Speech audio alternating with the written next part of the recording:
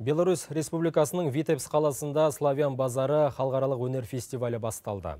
Бұл жобаның қазақстандықтар үшін орны бөлек. Еуропа сахнасын Димаш Дайдидаумен былтыр ғана Рухия Байдукенова рухты әнімен дүбірлеткенін білеміз. Биыл өтетін байқауға еліміздің атынан екі әнші және қос би тобы қатысады. Олар кімдер?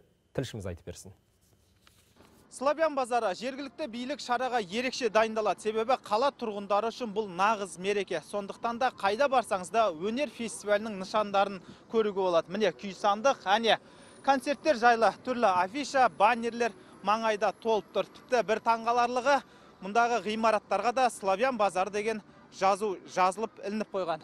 Әне біреу, міне ту сыртымызда тағы біреу тұр. Қайда барсаңыз да өнер фестивалі туралы бірден білесіз. Фестиваль әу баста славян халықтарының ортақ мәдени шарасы ретінде ойластырылған. Кейін оның ауқымы кеңейіп халықаралық сипат алды. Биыл оған 20-дан астам елдің өкілі қатысып бақ сынауда. Қазақстан вокалдан екі орындаушыны, ал хореографиядан екі топты жіберген. Ең алдымен бүгін Әлинұр Хамзин өнер көрсетті. 12 жастағы отандасымыз бұған дейін бала даусы, алтын микрофон, Ташкентте өткен Роза Востока, сондай ақ Париждегі Junior Eurovision халықаралық ән байқауында ел намысын қорғаған. Бүгінгі сайыста қазағыма әнін орындап көпшілікті тәнті етті.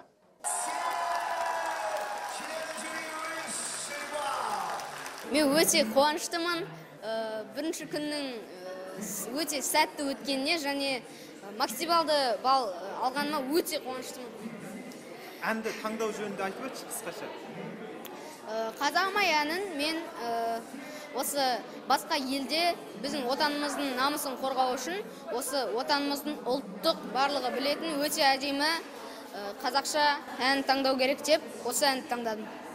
Ертең балалар ән байқауының екінші әрі шешуші кезеңі өтеді. Ал ересектер арасындағы сайыс келесі күндерге жоспарланған.